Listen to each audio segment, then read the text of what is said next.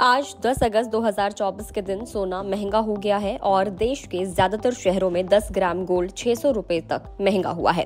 इसी बीच अगर हम लोग चांदी की बात करें तो चांदी की कीमत तिरासी हज़ार सौ रूपए प्रति किलोग्राम हो गई है।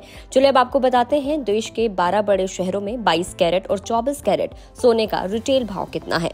सबसे पहले बात दिल्ली की। दिल्ली में 22 कैरेट सोने की कीमत तकरीबन चौसठ हज़ार चार सौ इकतालीस रूपए प्रति दस ग्राम है।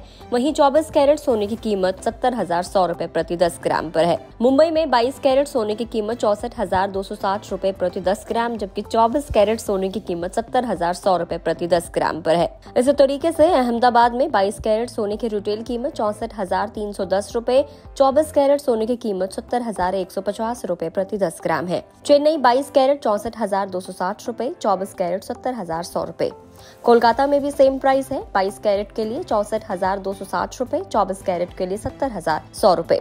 गुरुग्राम और लखनऊ की अगर हम लोग बात करें तो चौसठ हज़ार चार सौ इकतालीस बाईस कैरेट के लिए आपको चुकाना होगा, जबकि चौबीस कैरेट का रिटेल भाव सत्तर हज़ार दो सौ पचास रूपए प्रति दस ग्राम है। बेंगलुरु में बाईस कैरेट चौसठ हज़ार दो सौ साठ रूपए, चौबीस कैरेट सत्तर हज़ार सौ रूपए। जयपुर में चौसठ हज़ार चार सौ इकतालीस बाईस कैरेट के लिए है, जबकि चौबीस कैरेट का रिटेल भाव सत्तर हज़ार दो सौ पचास रूपए है।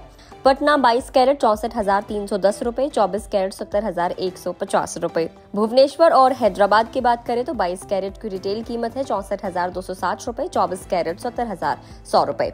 तो ये है बाईस कैरेट और चौबीस कैरेट का भाव, जो आपको ज़रूर पता होना चाहिए। आप जब भी सोना खरीदने के लिए जाते हैं, चाहे वो निवेश के लिहाज से हो या ज्वेलरी के फॉर्म में हो, आपको अपने शहर का लेटेस्ट भाव ज़रूर पता होना चाहिए। वीडियो में इतना ही। जानकारी कैसे लगी कमेंट करके ज़रूर बताएँ। अगर आप इस वीडियो को फेसबुक पर देख रहे हैं तो फेसबुक पेज को लाइक करें।